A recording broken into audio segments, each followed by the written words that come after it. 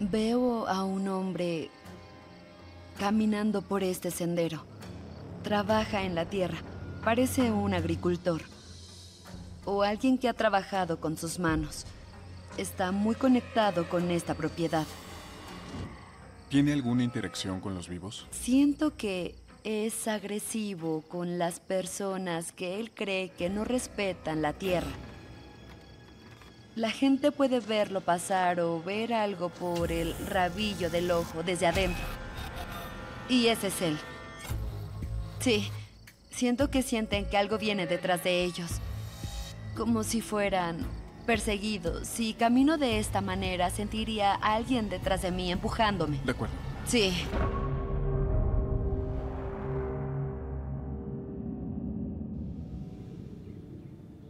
Steel, ¿aquí solías dormir? Sí.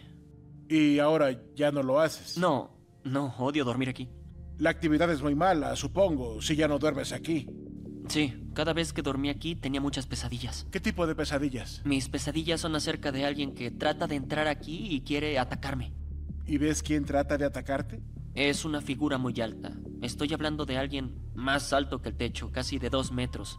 La misma figura de sombra que veo en mis sueños también la veo cuando estoy despierto. ¿Y se ve exactamente igual? Exactamente igual, y me miraba directamente.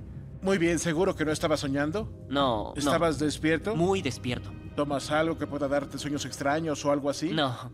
¿Y tienes pesadillas? ¿Algo más?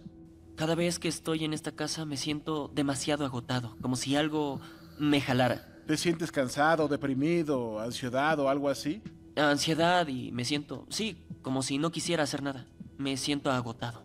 ¿Qué crees que causa esto? Creo que hay algo que no nos quiere aquí. Este lugar es muy Claro. antiguo, la tierra es muy antigua. Creo que es solo alguien que está tan apegado a la tierra y no sabe cómo continuar. Y la quiere de vuelta. Y la quiere de vuelta, sí. De acuerdo.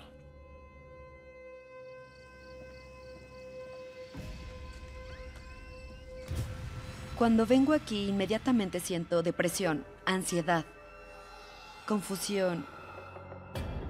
Y es causada por esta energía oscura. Siento que hay un joven aquí, Una persona una viva. persona viva. De acuerdo. Creo que son terrores nocturnos, cosas así pueden suceder. Y la depresión me preocupa. Se alimenta del caos y del dolor de otras personas.